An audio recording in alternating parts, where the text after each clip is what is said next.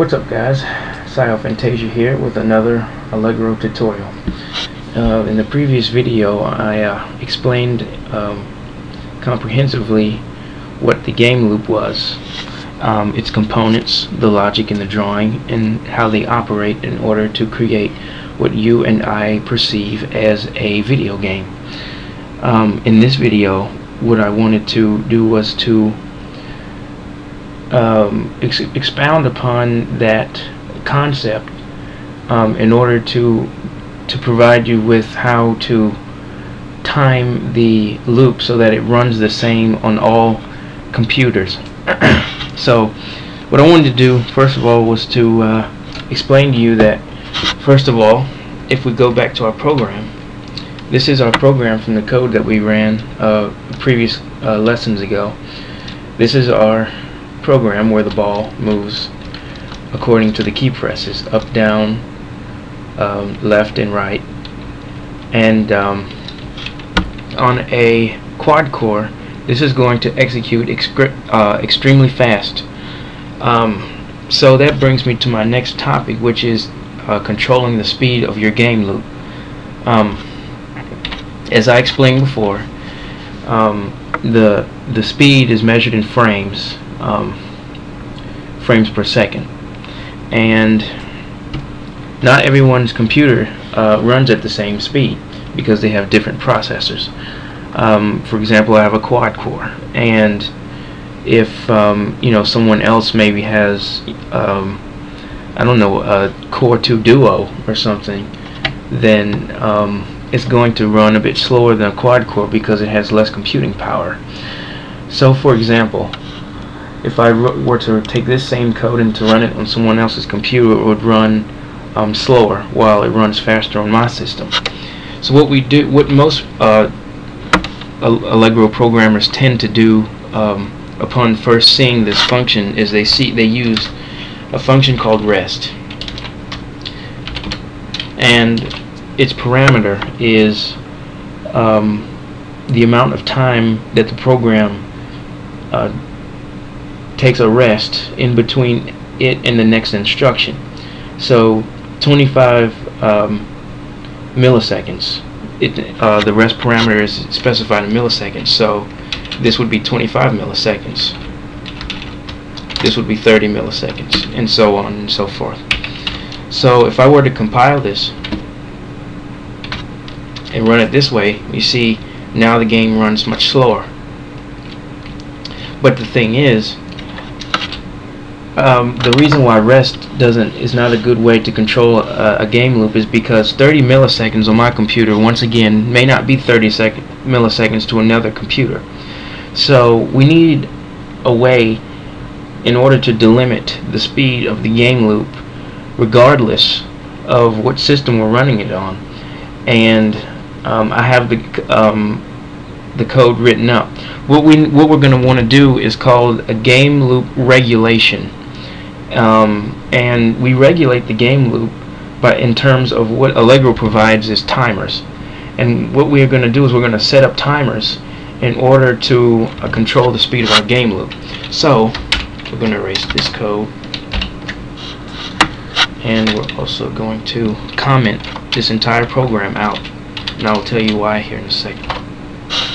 So in, in another source code that I've included in the project called main.main2.cpp. Um, I've written a full program that's equivalent to the previous except that it's controlled by Allegro timers and not by the rest function. So what we have is a program written in order to um, make use of Allegro timer functions. Excuse me. So everything in general looks the same. The initialization functions. The uh, first thing that we need to that we come new to is install timer. And what a timer is in Allegro is it is a um, it's a system that keeps track of the of the program's global time um, block. So for example if um, if I set up a timer to run at uh, I don't know 50 beats per second um, what it is is that the timer that I set up is going to execute a certain function so often. So if I installed one time, if I installed the timer module and I um, in initialize the timer with install int x, what is going to happen is that that timer is going to execute this function this many times a second. Okay, so where's the function increment core clock?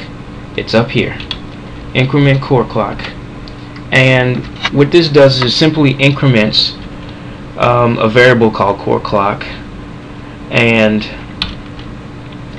what's going to happen is it's going to turn from 0 to 1 and then it's going to act as a regulation so I'm gonna so we have a lot to go through so I'm gonna go through it um, very slowly with you so first of all I told you what a timer was and Allegro can have up to 16 timers uh, at one time in one program running at, at one instance.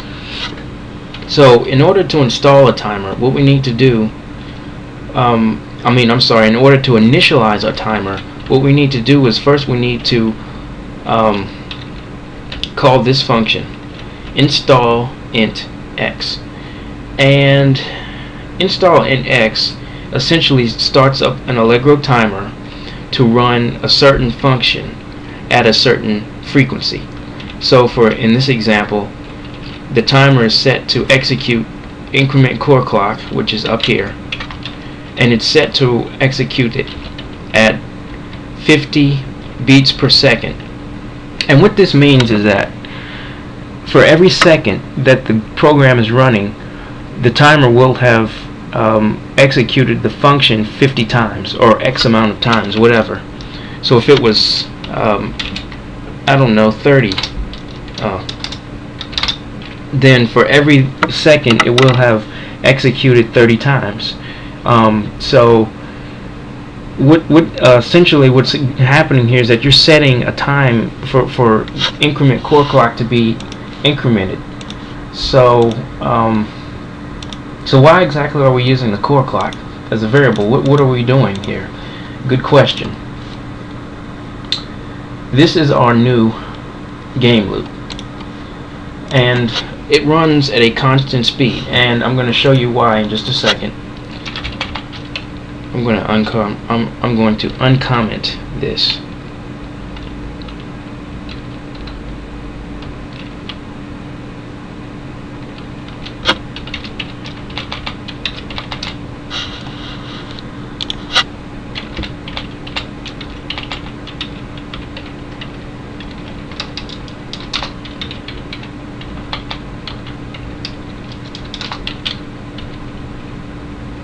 Okay, so I'm going to go ahead and run this code and show you the effects of it.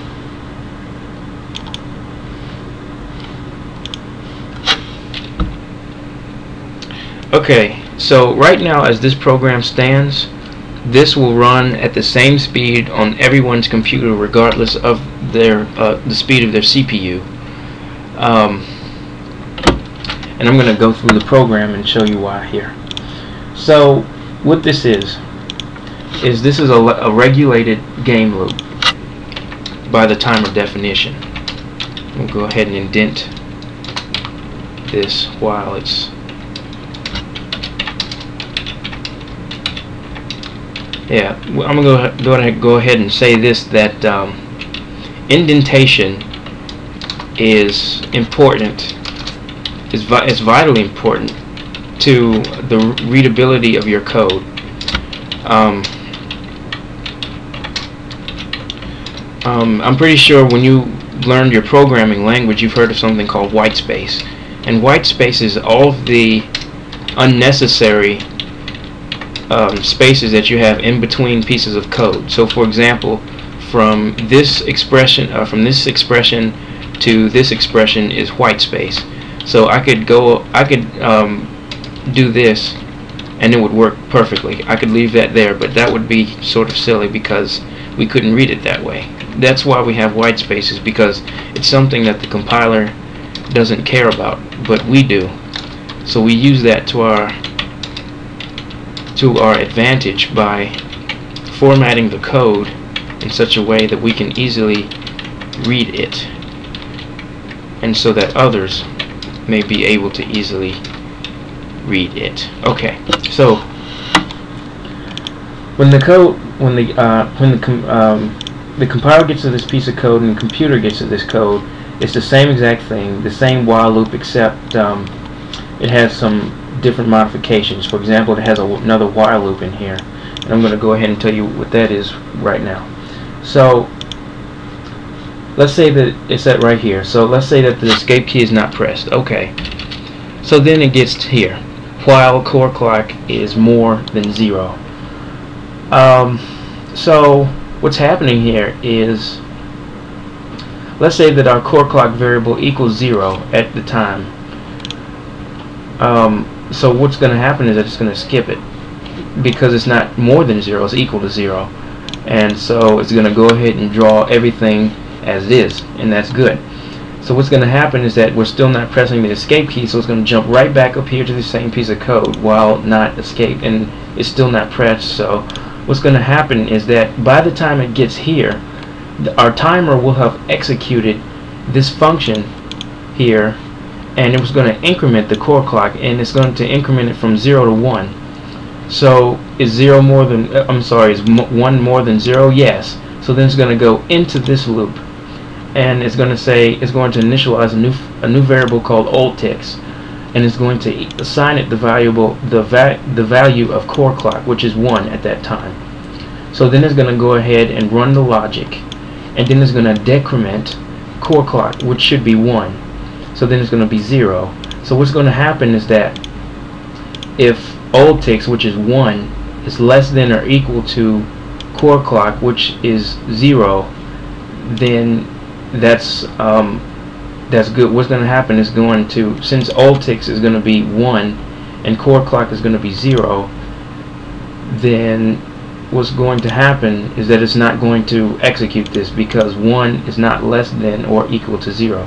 So it's going to go ahead and go back and do uh, the logic again. And so what's going to happen is that it's going to say while core clock is more than 0. Well, it is more than 0 because it's 1 so then it's going to drop out and do the drawing again and then it's going to go back and increment it. So you see what's happening? Core clock is is sort of vibrating between 0 and 1 here at a constant rate because the timer is doing it at a constant rate. So what's going to happen is that the drawing and the logic is taking turns here. You see just like in the game loop example is taking turns? Well what's going to happen this is we, we put this right here because what happens is that if the logic takes too long it's going to automatically break it. And it's going to get out of this loop and it's going to draw whatever logic is set up. So if logic is taking too long let's say we have like 500 checks to do in collision and it didn't make it in time then it's going to go ahead and skip it and draw it. Because we don't want to take too much time doing the logic than we do drawing. We want to have equal time space so that's what's going to happen. Um, so right now we have a, constant beats per second of 30 and that's what this is. The game is running at 30 frames a second. So the FPS is 30. Um, usually, typically it's 60, 60 frames a second. So See, now we have smooth movement. That is the smoothest movement, um, pretty much. Um, I mean, that's that's pretty good. And this is going to run the same speed on everyone's computer. Um, I mean, you can go up more. It's just you see now it's going uh, 70. I mean, I'm sorry, 80. And so, but typically I like to keep it at 60 because that's a smooth. Um, that's, that's usually smooth. Most most common games now are capped at 60 FPS, so that's usually a good speed. So this is our this is our new modified game loop. So now it runs the same on all systems, and this is gone. We're not going to be using this anymore. Our old code is gone. We've now modified it. We're going to be using this new regulated speed. So I know you guys have have you know really absorbed a lot of information with timers and everything. Um, at, um, the variable that you use for the uh, actual time um, needs to be declared as volatile um, because if you if you know of C++ mo uh, keyword modifiers, volatile is a variable whose memory uh, address and memory can't change, um, and that's good because when we when you know during normal execution variables get changed around all the time, but volatile ensures that it doesn't get moved around. And um, here's another macro: end of function. We need this in order to uh, um, again maintain cross compatibility with other systems. So that's why you need that there. Also, there is no colon at the end of end of function, just like end of main, no colon. Um, I'm sorry, no semicolon. Um, so, lock variable. We need that function uh, again in order to lock the memory that core clock is residing in, and as is functions, because functions reside in memory too not just variables, functions do. All code resolve is resides in somewhere in memory, and um, it gets moved around during execution. So we want to prevent that from happening. So as it stands, this code is is uh, in perfect regulation with itself, and um, it runs the same on all computers. So we've we have accomplished our goal. So that is good, and um, that's timers and again you can have up to 16 of them so you could you maybe have one running the game and another running something else but you know as long as you have you know under 16 um, or equal to 16 then it should be fine so now that we have that down in the next video well in the next video I want to cover game objects um, how to manage whole game objects you know like to manage their variables, their information, and how to render them on the screen with functions that you call. We're going to be using classes and making use of object orientation um, to do that. So tune in for the next tutorial. Uh, this is Messiah Fantasia signing out.